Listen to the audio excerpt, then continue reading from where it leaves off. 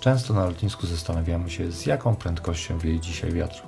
To urządzenie Windmaster 2 pozwala bardzo precyzyjnie poznać wartość prędkości wiatru. Zawartość pudełka nie powala na kolana, ale generalnie nie o to chodzi.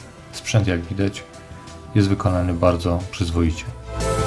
Najbardziej wrażliwy element e, miernika, czyli łopatki, są dobrze chronione, dzięki czemu sprzęt można zupełnie spokojnie przewozić razem z modelem. Duży czytelny wyświetlacz to niewątpliwa zaleta tego urządzenia.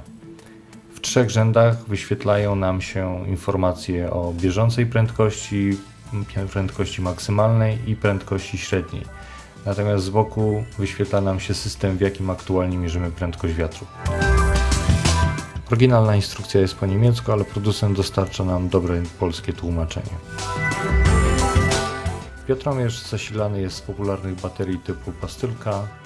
Dostęp do zasilania uzyskujemy po odkręceniu klapki umieszczonej z tyłu urządzenia. Urządzenie jest precyzyjne i reaguje nawet na najmniejszy ruch powietrza. Zakres pomiaru, jaki oferuje nam Windmaster 2 to od 2,5 do 150 km na godzinę oraz od 0,7 do 42 metrów na sekundę.